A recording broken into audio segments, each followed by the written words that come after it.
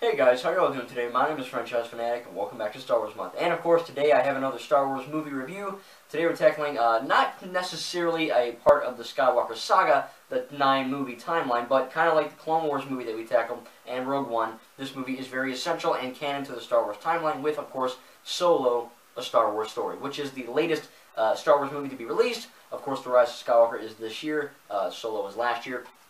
Now, uh, I know this is not the first Disney Star Wars film that they actually made. However, this is the first one I'm reviewing. So if I refer to that as the first one, I'm talking about me, you know, re re reviewing it and seeing it first because I am watching it, you know, the way you're supposed to, one through eight and all the stuff in between. So that's what I mean. Anyway, so let's get right into it with my list. With of course, this is the uh, the first film uh, under Disney, and uh, you know, and then I'm reviewing uh, that I'm seeing for this review thing, and uh, it's great. You know, it, like the, the, prequels were good. You know, if you've seen them, one, two, I have a lot of issues with, but they're good movies. Three, great movie, have a few problems with. Clone Wars, you know, watch it too. It's pretty good. Uh, this one is the first movie that I've seen throughout. You know, going through my whole list of that is actually pretty much flawless. Um, I really don't have any issues with this movie. Um, now, I'm not to say that Disney. It, well, okay, in my opinion, the Disney Star Wars movies are the best made and just the best. However, the prequels and the original trilogy are both very, very good, and I love them. However, like I said, those movies do have their flaws, which I'll get into when I do the original trilogy and all that stuff. But uh, with Solo, like I said, this really is a great movie. Of course, this focuses on the prequel story of Han Solo, how he meets different characters and gets his name, and you know all these different things that really set up the future of the Skywalker saga in general. So, uh, very, very cool there. Uh, we have the directing. This is directed by Ron Howard, and uh, I really don't have any issues with how it's uh, shot and directed.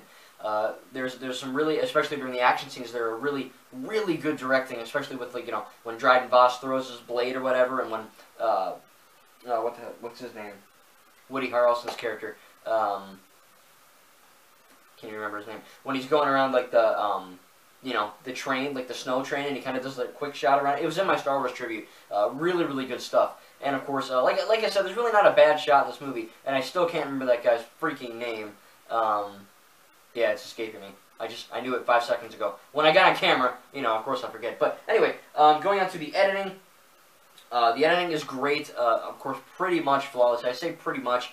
There are two scenes that I, I don't really know if I'm, I'm not really going to call them negatives because it's really a personal preference. They're not actually bad, like universally bad. It's more or less just, okay, I would have done it differently, but it's still not, you know, terrible. Uh, so the two scenes I'm talking about, of course, uh, one of them is when uh, Han Solo and they get, you know, the gang, they get their uh, coaxium right, and it kind of blows up, and it's a huge explosion. You know, this huge thing, and then it quick cuts like really fast to a, a scene where they're, you know, after of course Val dies, and uh, what's his name? Damn it, I can't remember his name. Woody Harrelson. Who? I can't remember his name. Uh, of course, he punches Han in the face, uh, which you know isn't really ideal. But still, again, it was a really loud noise to, of course, just a really quiet scene. And I get it. I laughed because I think it is supposed to be kind of funny. Like, oh, that was a big explosion. And of course, you're not going to wait five minutes for the explosion to completely fade. But still, it's a very, very abrupt cut. And there's the exact same thing a little bit down the road in that in the film as well. Uh, not coaxium, but really, it is a it's an explosion. And uh, it's just a loud noise, and then boom, quiet. And to me, I wouldn't have edited that way. Again, that's not a negative. That's just me, you know, spitballing and just okay, I would have changed that. But again, not a bad thing.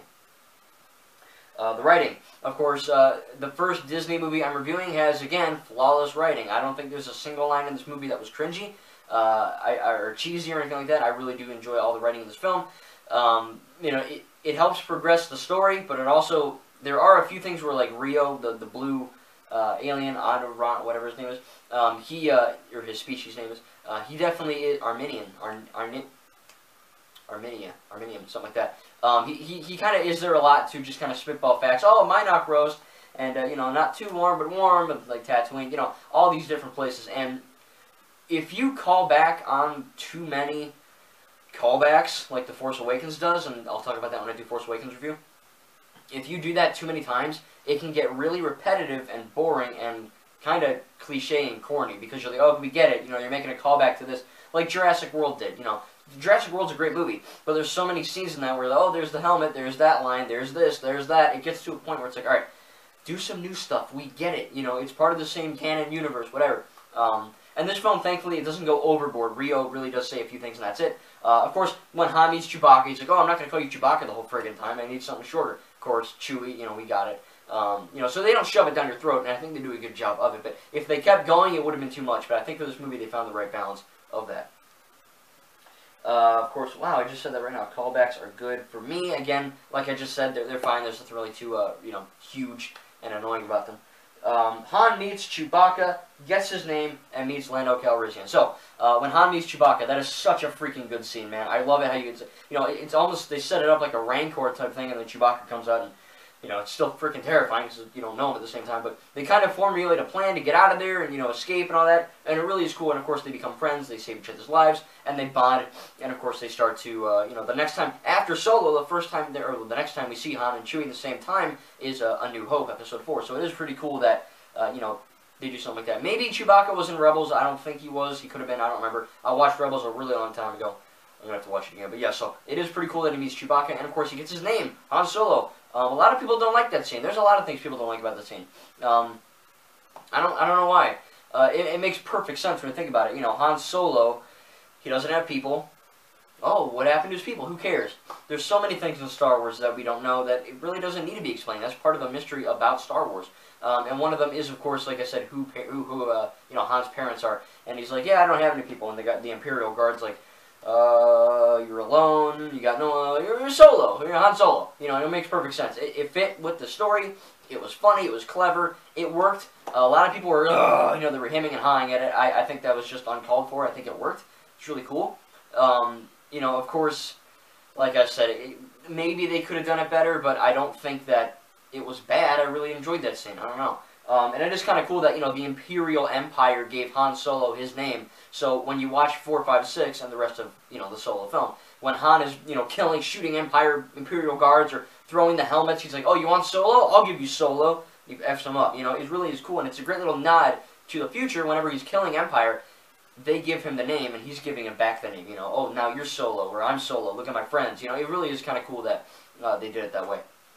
Of course, he meets Lando Calrissian, played by Donald Glover. Glover, whatever. Uh, I really do enjoy his performance. I think he does a, you know, the nice thing about this movie is that Alden, Alden Ehrenreich, Reich, whatever, he does a, he's a great Harrison Ford knockoff. He's a great Han Solo.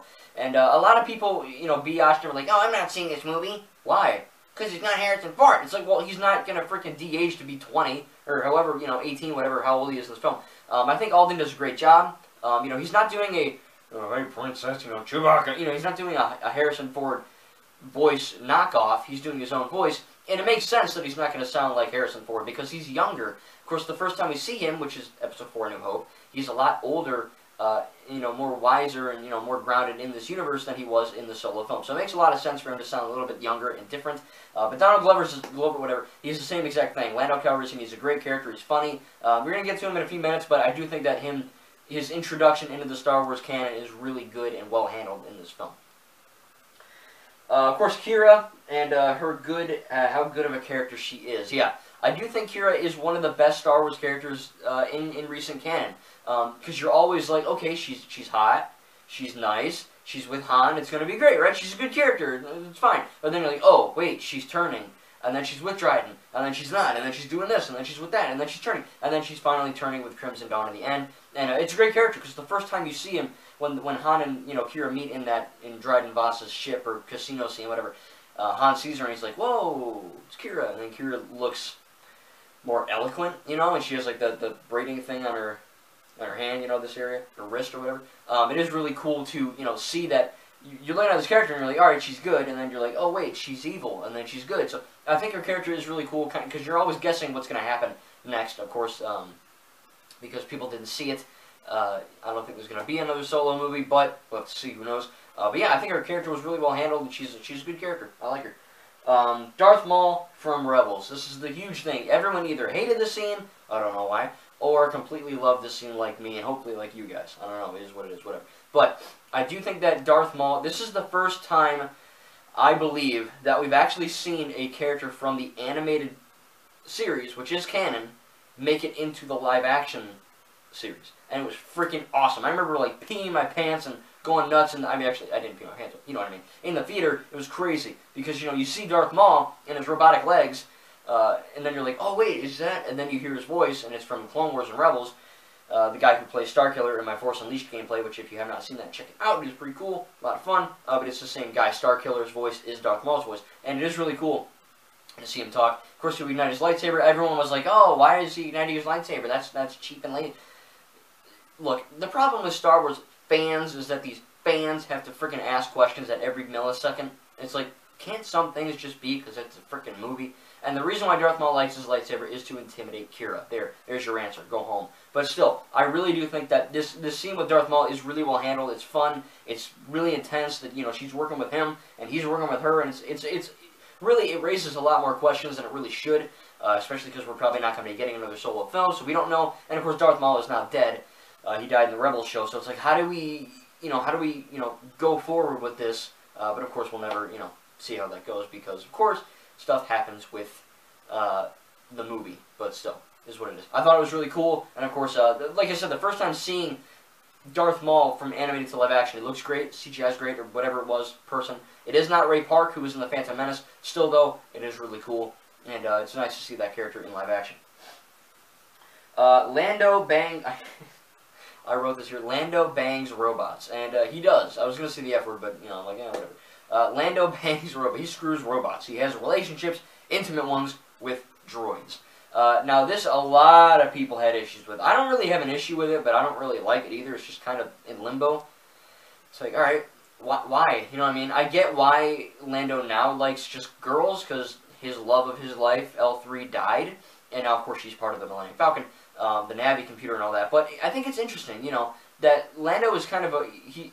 He's like a ladies' man, but he sometimes dresses like a lady, and then he just not you know like straight lady, but you know you know what I mean. He has like these you know robes on and all that, and then you get Han, who's like you know this this straightforward jacket, you know, gunslinging type guy. So he is kind of eloquent in the way he dresses, and of course he gets the girls, and he apparently gets the girl droids. Uh, but I do like L3 as a character, and we'll get to that in a minute. But uh, I think Lando having an affair with robots is your droid, excuse me, is kind of strange. Uh, like I said, a lot of people have issues with it. I don't, like I said, I don't hate it, but it, it, it is kind of weird. Um, and every time L3 dies, it, you know, the acting with Donald Glover isn't, you know, it's not amazing, but, you know, it is good. You can feel that Lando really liked this the droid, and when the droid dies, you're like, oh, you know, I feel kind of bad. But, of course, it's in the Falcon, so it's all good. But I do think that it is kind of strange. Um, not a negative for this review at all, but, you know, personally, it is kind of weird, but now I see why he liked Leia in Empire and, you know, all this stuff too. We'll have to see if he's still, or no, Leia's, well, Carrie Fisher passed away, but Leia is still in this film. So maybe Landon will hit on Leia before she dies or goes off. I don't know what the heck's happening with Leia in this film, but it is kind of cool to see, like I said, Lando kind of go from droid to girl. It's kind of cool. It's weird, but, you know,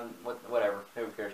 Um, L3, and of course the uh, the commentary on L3. A lot of people had issues with her. Uh, I think she's a really funny character. She's you know got those girl hips where she's kind of walking like this. You know she's got that sass and uh, I don't want to say sexy, but you know she's got that girl walk. You know what I mean?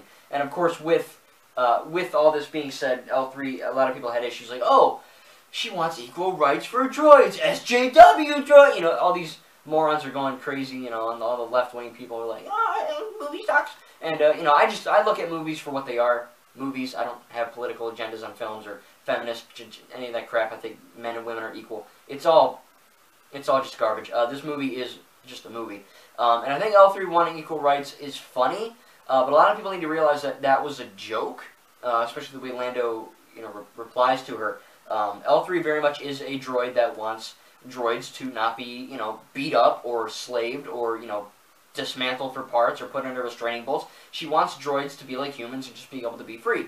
And uh, it is interesting to see that because we never really see droids with like actual consci consciences. It's just like, oh, beep bop boop, or you know, C3PO, oh my goodness, you know, I'm going to open the door, that kind of thing. That's really all it is. But now that we have L3, it really is cool to see that there's a droid out there uh, that wants to free other droids, kind of like Chewbacca wants to free his Wookiees. It's the same thing. It's not. It's no different than that. L3 freedom for droids, Chewbacca, freedom for Wookiees. It's the same exact idea, um, and I think it is kind of cool. Her, like I said, being kind of equal right thing, it, it, that was just a joke. I think people went too far with that. Oh, it's it's just a joke. Calm down. She is a good character. I think she's funny. And of course, when she dies, it really does suck. But again, she's part of the Falcon now, so there you go. Uh, the story flow. This movie has a pretty good story, I think.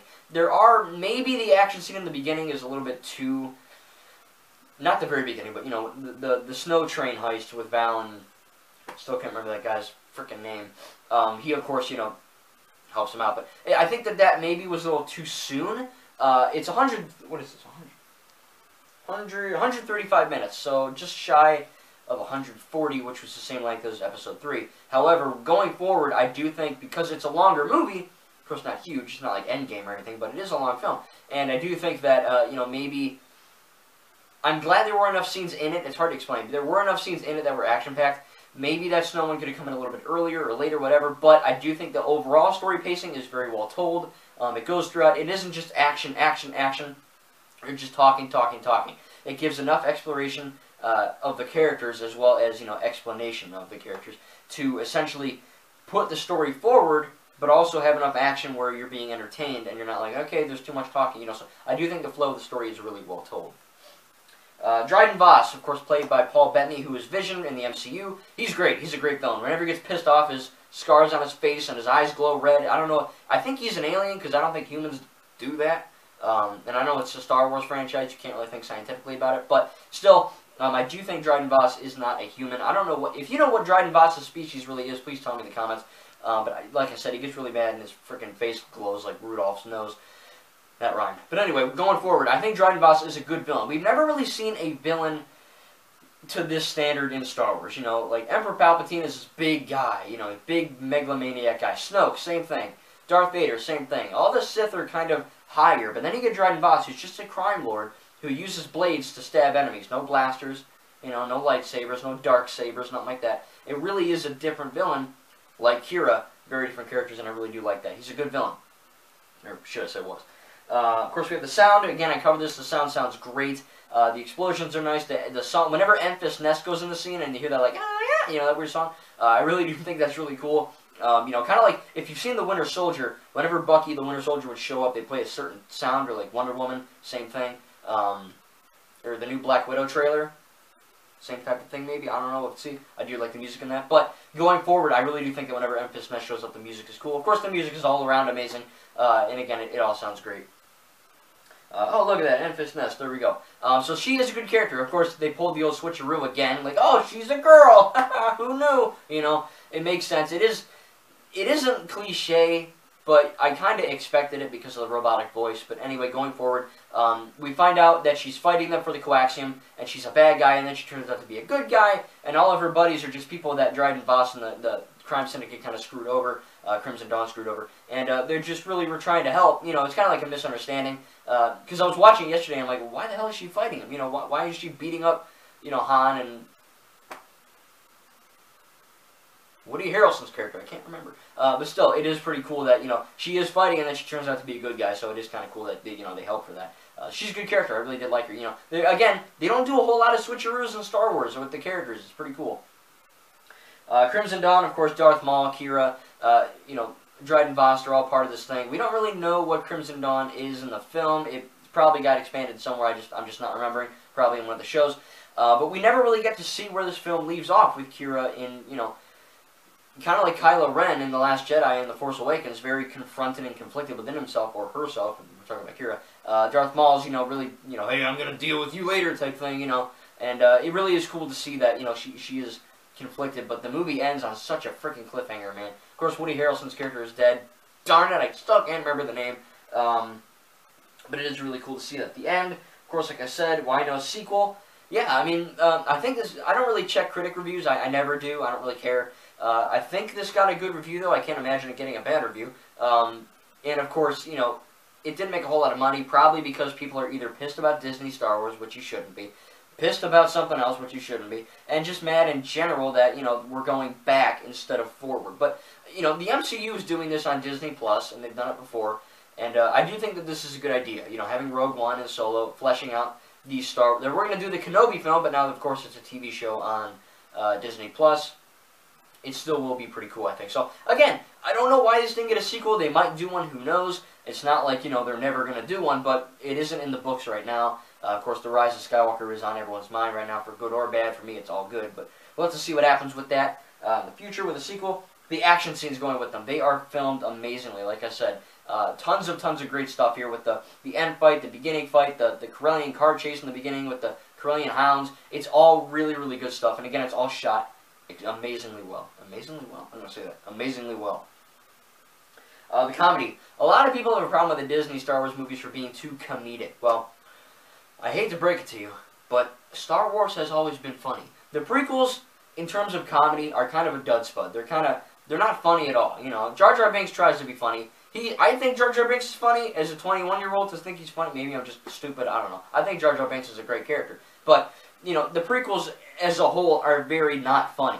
You know, there's a few scenes where Obi Wan's like, "Hey, Darth Vader, I hate it when he does that." You know, anything that Anakin Obi Wan says. But still, the, the, original trilogy had funny moments, and that's what made it light. Uh, you know, not really kid friendly, but just you know, funny at times. You know, it wasn't a comedy, but still, Force Awakens had a lot of comedy. Last Jedi had a lot of comedy. Solo, Rogue One. Uh, and I do think that they all helped. A lot of people say, "Oh, Last Jedi sucks because the comedy killed the film." I don't, I don't think so. Uh, all the other movies were funny too. Uh, you don't have to like the humor. You know, humor is subjective, um, but still, uh, I, I, I, do think it works. And Solo is perfect. This one is really funny at times, and it's not trying to be a comedy, but they, they, they have enough comedic beats where it is funny at times. You know, so that's that and of course the Kessel Run, doing the Kessel Run in 12 parsecs if you round down. Um, it is really cool. That scene was freaking great, man. I mean, it went from like one action scene to a chase scene to another chase scene. It was amazing, man. I love that scene. And uh, to be able to see the Kessel Run was really, really awesome. And going to the Kessel Planet is pretty cool as well. Um, yeah, I enjoyed it. It was it was a great movie. So I'm gonna give, uh, like I said, there really aren't any negatives about this movie that I can see. Uh, acting is great. The action scenes are great. The writing, directing, editing except for those two little scenes, but I'm not going to count that because that's just me personally. It's not actually bad. Um, I'm going to give Solo, a Star Wars story, an A+. plus. Um, I really, really love this movie. Again, uh, when I give something an A+, plus, I'm not saying that it's my favorite movie ever, but I am saying as I look at the film you know, subjectively as a film, uh, I don't see any flaws with it. If you do, that's fine. To me, I'm going to give Solo an A+. plus. I really enjoyed it. Please tell me what you thought about Solo, a Star Wars story, in the comments, and please tell me as well if you want to see a sequel one day, or if you didn't even bother seeing it. Thank you guys. May the force be with you, and we'll see you guys in the next video.